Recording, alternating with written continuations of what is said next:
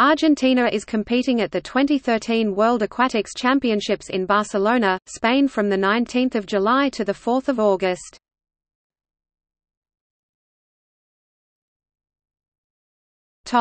Open water swimming. Argentina qualified the following open water swimmers. Men. Topic Swimming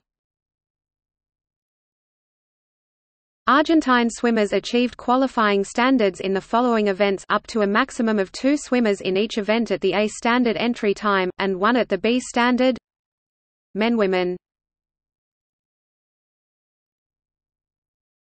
Topic: Synchronized swimming. Argentina qualified the following synchronized swimmers.